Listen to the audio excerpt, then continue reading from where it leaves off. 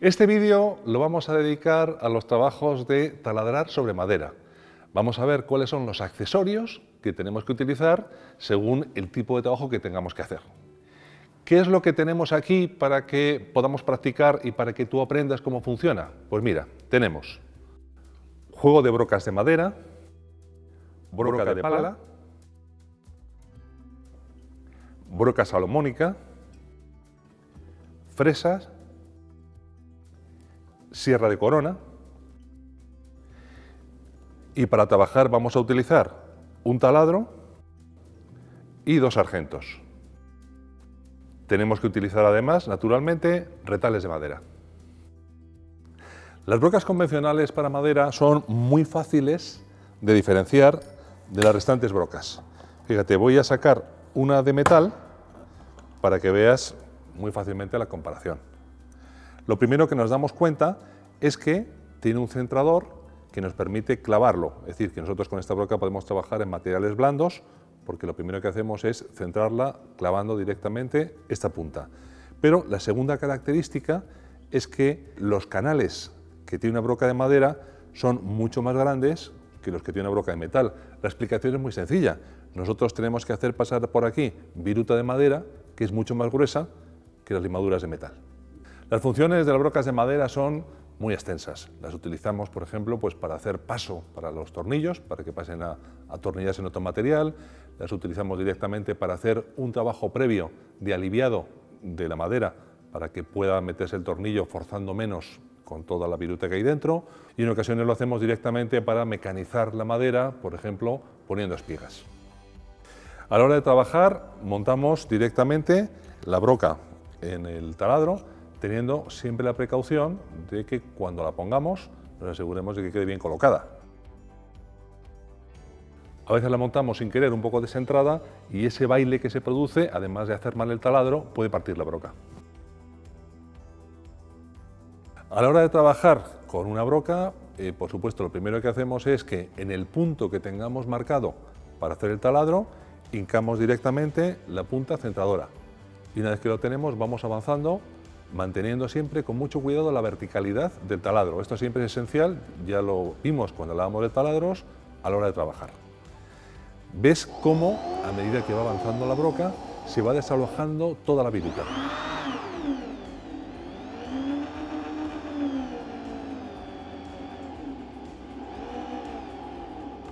Como siempre hacemos en nuestra escuela de bricolaje, te voy a proponer una práctica. Vamos a hacerla trabajando sobre dos retales de madera de distinto tipo de tablero y cuando hacemos estos ensambles de esta forma con tornillos, nunca debemos atornillar simultáneamente dos maderas de distintas características. Lo que hacemos es que en la madera superior hacemos un agujero pasante y en la madera inferior hacemos un pequeño agujero para aliviar un poquito de material el tablero y poder así introducir el tornillo forzando menos la madera. ¿Cómo elegimos los tamaños de broca? Pues mira, lo más fácil es lo siguiente. Si yo estoy trabajando con un tornillo de 4 milímetros de diámetro, lo que voy a hacer es elegir un diámetro un milímetro mayor para hacer la parte de la pieza, de, la pieza alta, de la pieza pasante.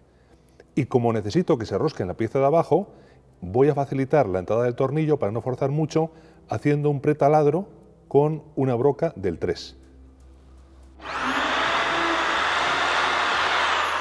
Te voy a explicar por qué hago el pretalado de la pieza superior antes de ponerla sobre la pieza inferior.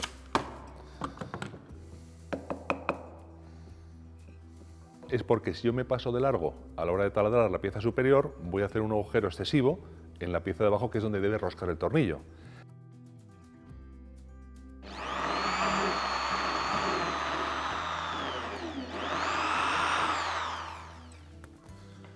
En ocasiones nosotros tenemos una pieza superior demasiado alta y en ese caso lo que tenemos que hacer es marcar la posición del tornillo, retirar la pieza superior y hacer directamente el pretaladrado en la pieza de abajo.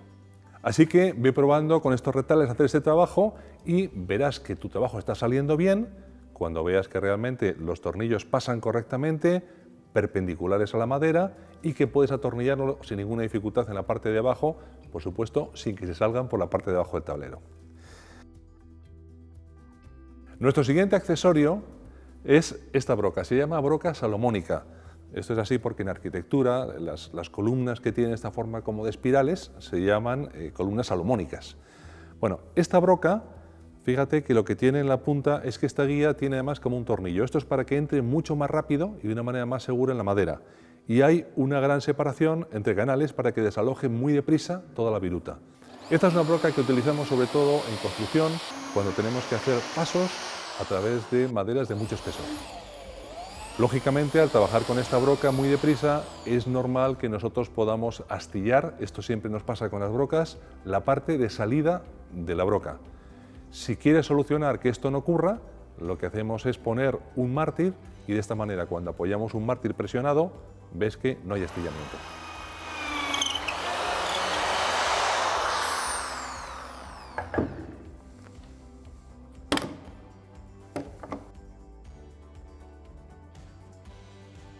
En ocasiones necesitamos hacer agujeros más grandes que lo que nos da una broca normal. Piensa que en un taladro el diámetro máximo que solemos tener de broca son 13 milímetros. Cuando superamos esa anchura nos vamos a este tipo de brocas que son brocas de pala. Ves que tiene un centro de guía mucho más largo y dos cortes a cada lado. Tienes distintos diámetros de pala. El objetivo, cuando trabajamos con ella, lógicamente, es hacer cortes limpios en todo el canal para que podamos traspasar la madera. En este sentido, es importante que esté siempre la herramienta bien afilada. Cuando nos encontramos ya con accesorios que no están bien afilados, lo que nos ocurre es que como no avanzan como es debido, empezamos a intentar bailar un poco para que vaya cortando de un lado o de otro y esto lo que acaba haciendo muchas veces es astillar los bordes. Un trabajo bien hecho con este tipo de, broca es un trabajo que no está astillado en los bordes y es lo que tenemos que vigilar. Al hacer el trabajo es importante que no perdamos la referencia tanto del taladro como del agujero. Vamos mirando alternativamente taladro-agujero por dos razones. Por asegurarme de que voy bien vertical a la hora de trabajar y segundo, por no pasarme de largo, porque como tengo una madera de abajo, no noto fácilmente el cambio de un tablero al de debajo. Así que estate atento a esto.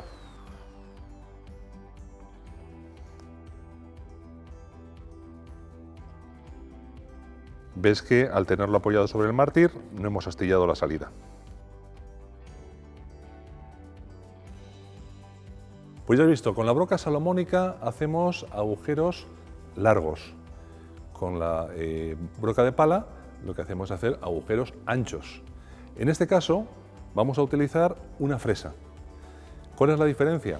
Que nosotros la fresa la utilizamos no necesariamente para traspasar la madera, sino para cajearla. Esto es eh, un clásico cuando tenemos que poner algunos mecanismos que van directamente embutidos en la madera, como los uñeros o sobre todo las bisagras de cazoleta.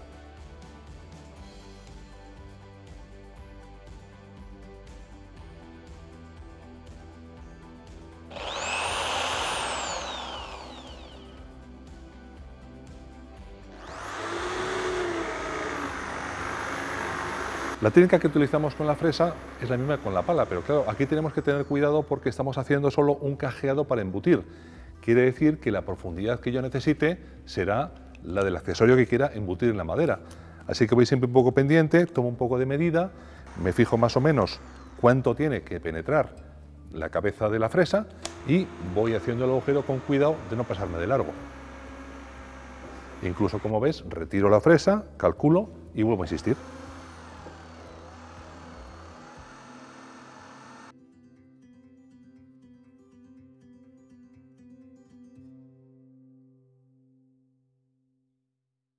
Cuando nosotros tenemos que hacer un agujero todavía más grande que el que nos proporciona una broca de pala, nos vamos a las sierras de corona, que tienen medidas mucho más amplias.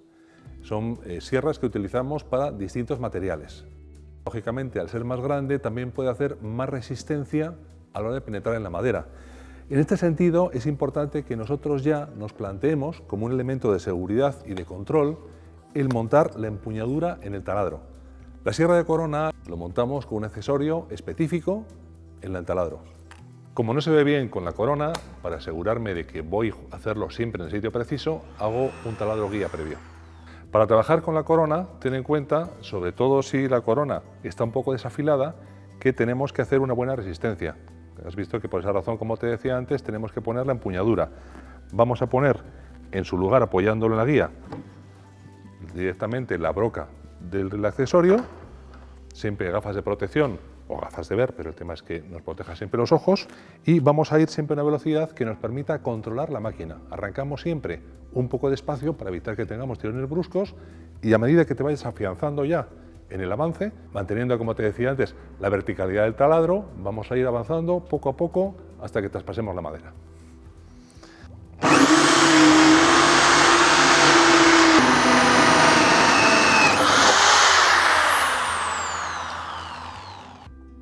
Estos orificios que tienen la corona de la sierra sirven, aparte de para refrigerar un poco, para que podamos introducir el destornillador y sacar la pieza que se queda dentro cortada. Bueno, pues a ti lo que te toca ahora es hacer el ejercicio que te hemos propuesto. Si tienes además algunos otros accesorios, pues está bien que con los retales de madera que tengas por casa, aprovecha para practicar con ellos. Siempre es importante esto.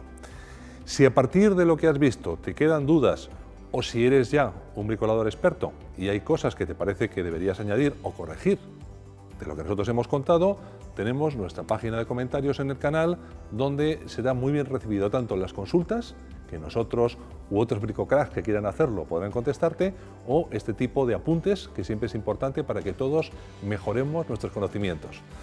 Espero que te sea muy útil este nuevo tutorial de la Escuela de Bricolaje que nos des tu like, que te suscribas al canal si no estás todavía y por supuesto que compartas este vídeo con todos tus amigos a los que también les gusta el bricolaje.